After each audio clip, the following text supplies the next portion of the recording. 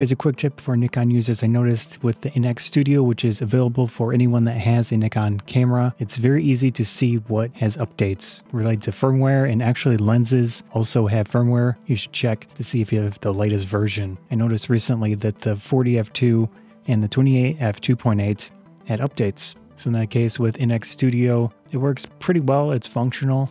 And if you go into help and check for updates, which takes a little bit, so it says there's no update at the moment, but that relates to NX Studio itself.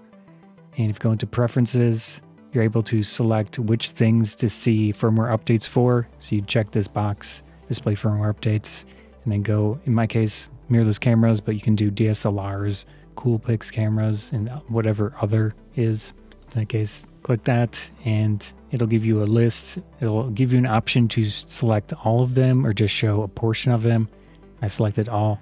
In this case, we've got the Z cameras, which some of them have some relatively recent updates. So 716 2024, the Z6, Z7, and ZFC. So I'm going to download this 28 to 2.8. I already updated the 40F2, so I'm going to go for the 20F2.8. Obviously, with this stuff, be careful, do it at your own risk because updating firmware does have some risk to it. Make sure your battery's fully charged and all that when you do it. I want the 28F2.8, which I've got right here. It was last updated 8-19 2024. Gonna double click on that, see what we got. Shows information on what's happening. It shows whatever cameras are able to update it, I guess. So here's the changes. This new firmware allows for focus ring, rotation, range, custom settings, non-linear. So you can adjust the focus ring. That's, that's at least the updates that they're listing. It's very possible there's some updates I didn't mention. To update, I've got the Nikon Z5, a memory card in the camera at the moment. You want to format it in the camera based on their instructions. Go up to format memory card and that slot, we're good to go. And put this into the computer. I have a memory card reader. In my case, I have the Z5 down here. I'm going to take this file I just downloaded from their website, put it into the main folder.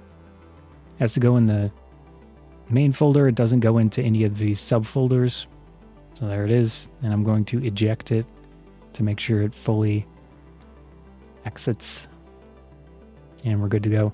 Obviously, you can go on Nikon's website and look at all the updates manually, but in the case of the program, it's just easier, convenient. You see everything all ready to go. You see the dates, Z5 memory card with the firmware. Got the 28 on the camera, have the camera ready for action.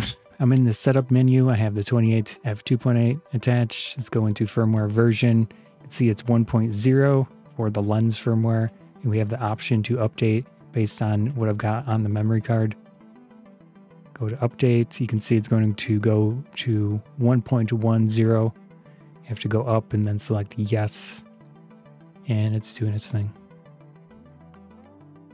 Make sure your battery is fully charged when you're doing stuff like this. It says turn off camera. Gonna do that.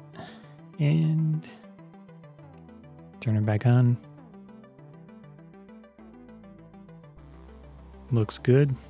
Go back into the menu firmware version and you can see now the lens has 1.10. I checked the firmware on the 24 to 50 at 4 to 6.3.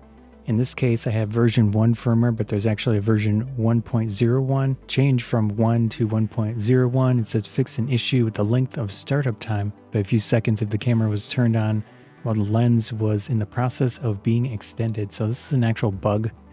We're definitely going to update this lens. I don't know if I've experienced it personally, but hey, might as well. I'm going to download this firmware for the 24 to 50. Here's the 24 to 50 firmware. It's a executable in this case, which just basically extracts the update. Now we've got the bin file. Same process. Take this and put it in the main folder directory of the memory card.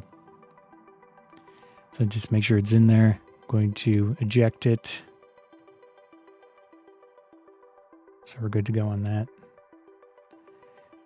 Popping out of here. Put it in the camera. In this case, check firmware version. See, I've got 1.0 instead of 1.01. I have the option to update. See, it's ready to go. Select yes. Updating. There we go. There we go. Make sure this works. So it said it can help startup times when I'm extending the lens while it's turning on. Okay, it, it seems good. It seemed good. So in the case with the kit lens, that was an actual bug that was fixed and definitely worth updating. Obviously, I keep saying this over and over again, but do it at your own risk. There are definitely some risks related to firmware updates, but Nikon's process is pretty good from what I've seen. Again, just make sure your battery's fully topped up. Be careful, follow the directions and all that. Hope you enjoyed the video. Scott's Photography Banzai, thanks.